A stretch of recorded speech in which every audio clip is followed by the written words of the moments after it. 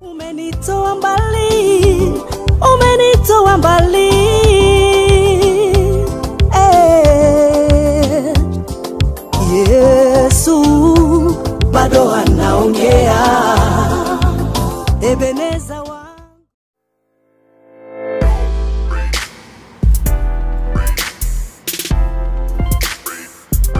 Shalom, shalom wapenzi, marafiki zangu wapendwa, ninawasalimu katika jina la Yesu.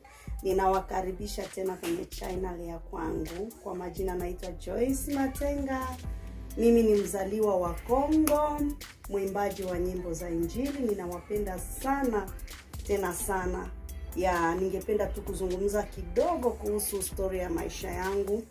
Uh, mimi nimezaliwa katika kijiji cha Luvungi na kuzaliwa kwangu ilikuwa kwa shida sana sana. Ujauzito wangu mama mzazi alisumbuka kwa kweli, ayani alisumbuka sana sana sana, lakini kwa neema ya Mungu, kwa sababu Mungu alikuwa na makusudi na mimi, nikazaliwa na mamangu mzazi akanipanga jina ya Maombi. Ninaitwa Maombi, unaweza ukaniita Maombi, unaweza ukaniita Joyce nilikomaa katika hapo katika kijiji cha Luvungi vizuri tu. Niliendelea kumpenda Mungu, niliendelea kumtumikia Mungu. Kwa kweli haikuwa rahisi, changamoto zilikuwa nyingi sana sana sana sana, lakini Mungu ni mwema, aliendelea kunipigania, aliendelea kunishindia. Baada ya hapo, baada ya miaka kadhaa, wazazi wangu wakafariki, baba akafariki, mama akafariki. Uh, walipofariki ndipo niliona umuhimu wa kuwa na Mungu katika maisha yangu. Unajua ndugu zangu wapendwa, wakati uko na wazazi karibu, unasikia unalindwa, unasikia uko na amani, lakini wazazi kama hawapo, yani unakuwa mpweke, unaona kama dunia yote inakuwa ngumu.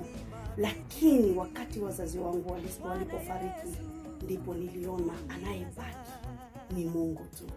Kwa hiyo ndugu yangu, sikate tamaa katika maisha kusema kwamba hauna wazazi, huko yatima, basi maisha yako yanaishia pale. Hapana, ambaye ana neno la mwisho katika maisha yako ni Mungu tu. Kwa kweli niliona naye baki ni Mungu peke yake. Mungu alikuwa msaada sana kwangu katika kipindi hicho, na ndo maana nikatoa albamu yangu ya kwanza ambayo inaitwa The Lord is my Shepherd yaani Bwana ndiye mchungaji wangu. Unajua, ukiwa na Mungu katika maisha yako, rafiki yangu mpendwa, ndugu yangu, hauwezi ukapungukiwa na chochote. Hauwezi ukapungukiwa na mavazi, hauwezi ukapungukiwa na chakula, hauwezi ukapungukiwa na chochote, kwa sababu anayekuchunga ni Mungu, na ndio maana alisema yeye ni baba wa mayatima na mume wa wajane. Ukiwa na Mungu hauwezi ukasumbuka katika maisha yako. Mungu atakufanyia wepesi na atafanya kila kitu kwako kuwa kizuri. Kwa kweli ninawapenda sana na ninampenda Mungu kwa sababu Mungu ni maisha yangu kabisa, yaani Yesu ni kila kitu kwangu. Kwa kweli niliendelea kumtumikia Mungu. Nilirelease albamu yangu ya kwanza hapa South Africa, ilikuwa ni mwaka elfu mbili na kumi na tatu. Kwa kweli niliuona mkono wa Mungu sana sana sana. Mungu alikuwa mwema kwangu. Nilirelease albamu ya The Lord is my Shepherd, niliuona mkono wa Mungu, niliuona mkono wa Mungu. Kwa kweli Mungu alizidi kunionekania na kunitendea mema. Mimi ni mama ambaye nimeolewa, nina watoto watatu, ninampenda mume wangu, ninaipenda familia yangu. Kwa kweli tumeokoka, tunampenda Mungu. Mungu ni kila kitu. Ebeneza anastahili. Ebeneza anaishi. Ebeneza umbali ametutosha. Kwa kweli Ebeneza wangu amenitosha mbali sana. Albamu yangu ya kwanza ina nyimbo sita na zote sita tayari zimekuwa zimekamilika tayari, yani zipo YouTube kabisa. Ukitaka kunipata YouTube, yani andika tu Joyce Matenga, utanipata pale na utapata vitu vyangu vyote. Kwa kweli Mungu ni mwema, ninazidi kuona mkono wa Mungu siku baada ya siku. Familia yangu ninaipenda, familia yangu wanampenda Mungu. Kwa kweli Mungu ni mwema sana, Mungu ni mzuri. Ndugu yangu mpendwa, ningependa tu nikwambie kama kama hauna Yesu katika maisha yako yaani hauko kitu. Hata ukiwa na pesa, hata ukiwa na mali, kama haumjui huyu Mungu, hiyo mali yako haiko kitu. Yeye ni Mungu ambaye alituumba kwa mfano wake, alituumba ili kwamba tumtumikie, alituumba ili kwamba tumuabudu, maana ni yeye anastahili. Sifa ni za Mungu, yeye ni mtakatifu ambaye anakaa katika sifa za Israeli. Ndugu zangu wapendwa, ninawapenda sana. Ninawapenda sana, sijui niseme nini. Kwa kweli ni mengi ambayo nimeyapitia katika maisha yangu, ni mengi, ni mengi mazito sana, lakini Mungu wangu ni mwaminifu, aliendelea kunipigania, aliendelea kunitetea. Yaani kufikia hapa nilipo ni kwa neema yake tu. Neema ya Mungu inatosha katika maisha yangu. Upendo wa Mungu ni wa ajabu sana katika maisha yangu. Huyu Mungu atabakia Mungu milele yote. Kwa sasa nina albamu mbili. Albamu ya kwanza inaitwa The Lord is my Shepherd na albamu ya pili inaitwa Ebeneza. Ah, haleluya! Mungu ni mzuri sana. Ninapotafakari ukuu wa Mungu katika maisha yangu, ninaona huyu Mungu ni wa ajabu sana. Ebeneza ni wa ajabu. Ebeneza bado anaishi. Ebeneza bado anaongea. Ndugu yangu mpendwa, usikate tamaa. Ikiwa umezaliwa na unaishi, kuna kitu ambacho Mungu anapangilia kufanya juu ya maisha yako.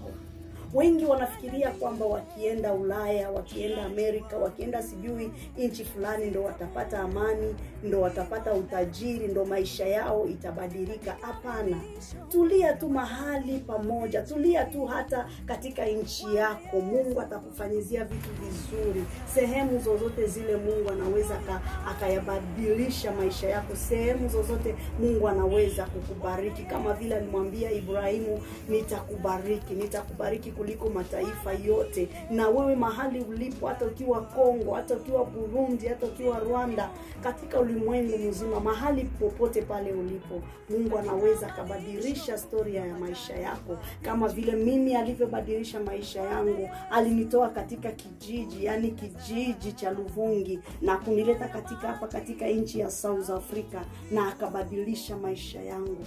Kwa kweli Mungu atabakia Mungu kile ambacho Mungu alipangilia juu ya maisha yako lazima atakitenda tu. Usikate tamaa ukisema kwamba Mungu ameniacha, sina baba, sina mama, lakini ujue kwamba Mungu ni baba wa mayatima, ni mume wa wajane. Yeye ni kila kitu katika maisha yako, yeye ni vyote katika maisha yako, kwa sababu anasema tuombe, tutapewa, tutafute, tutaona, tupishe, tutafunguliwa. Kile chochote ambacho utaomba kwa Mungu lazima Mungu atakitenda kile ambacho utaomba kwa Mungu lazima Mungu atakifanya. Inua macho yako juu, utazame milima. Inua macho yako juu, umwangalie Yesu. Inua macho yako juu, umwangalie Ebeneza. Umwambie Baba, nitayainua macho yangu nitazame milima, msaada wangu utatoka wapi? Msaada wako ukatika yeye Bwana ambaye aliziumba mbingu na nchi alifanya kila kitu kwa uweza wake, alikufanya kwa sura yake na kwa mfano wake. Oh, huyu Yesu ni mzuri, ni mzuri, ni mzuri, ni mzuri, anastahili, anastahili. Hakuna kitu ambacho kinamshinda Mungu, na nasema, je, kuna neno ngumu ambalo mimi Bwana nisiloliweza? Hakuna kitu ambacho Mungu hawezi akafanya katika maisha yako. Kwa Mungu yote yanawezekana. Ikiwa hauna mtoto, amini tu, Mungu anaweza akakubariki mtoto. Ikiwa hauna mume, umekaa miaka mingi sana ukisubiria mwanamume, ujue ya kwamba Mungu ni Mungu ambaye anayepana. Ikiwa kwamba hauna eh, hauna chakula, hauna mavazi, amini tu kwa Mungu, yote yanawezekana. Weka matumaini yako kwa Mungu, usiweke matumaini kwa mwanadamu. Mwanadamu atakupa kesho na atakusema, mwanadamu atakupa kesho na atakudharau, lakini Mungu akikupa na amekupatia, Mungu akikubariki na amekubariki. Kwa kweli ninamshukuru Mungu sana kwa wema wake, kwa makuna maajabu ambayo anaendelea kuyatenda katika maisha yangu, katika nchi ya kigeni ya South Africa ambayo ninayoishi. Kwa kweli Mungu nimemuona, Mungu nimemuona katika maisha yangu. Na wewe ndugu mpendo ambaye unayenisikiliza, usikate tamaa Mungu angali atakuona tu. Mungu angali atakukumbuka kwa sababu alikujua tangu ungaliki katika tumbo la mama yako. Mungu alikujua, na Mungu ana mipango mizuri na maisha yako. Mungu ana mipango mizuri sana. Haleluya, ana mipango mizuri sana na huduma yako, ana mipango mizuri sana na kila kitu katika maisha yako. Usikate tamaa, songa mbele, mtumaini Bwana. Kwa sababu wamtumainio yeye ni kama mlima Sayuni ambao hauwezi ukatikisika. Haleluya, Mungu wetu ni mwema, Mungu wetu ni mzuri, maana liko tumaini katika maisha yetu. Katika siku zijazo, yako matumaini, yako matumaini. Kabla mwaka huu haujaisha wa 2020, ninaamini ya kwamba kuna kitu kipya ambacho kinakwenda kuzaliwa katika nyumba yako, katika maisha yako, katika kazi ambayo unayoifanya kuna kitu kipya ambacho kinakwenda kuzaliwa. Ninamshukuru Mungu sana kwa kweli. Albamu ya kwanza nimeimaliza vizuri, albamu ya pili nimeimaliza vizuri. Mungu ni mwema sana. Mungu ni mwema, ametamalaki, anastahili sifa kabisa. Yeye ni mwema siku zote. Ukihitaji kitu, njoo kwa Yesu. Ukihitaji mtoto, ukihitaji pesa, njoo kwa Yesu, mwite na yeye atakuitikia, atakuonesha mambo mazuri, atakuonesha mambo makubwa. Huyu Yesu anaweza, huyu Yesu anastahili, kwa sababu si kwa bure umezaliwa na ukaishi. Kuna kitu ambacho Mungu anacho juu ya maisha yako. Kwa hiyo nakuomba ndugu mpendwa, usikate tamaa ijapokuwa shida ni nyingi, labda umefiwa na wazazi, labda umefiwa na mume, labda hauna watoto, lakini ninachokushauria siku ya leo ni kwamba usikate tamaa. Ebeneza bado anaongea, Mungu bado anaishi, Mungu bado anaendelea kutenda siku baada ya siku. Mtumaini Mungu, mtegemee yeye, na yeye atakufanyia mambo mazuri. Mungu awabariki sana na Mungu awatendee mema. Shalom.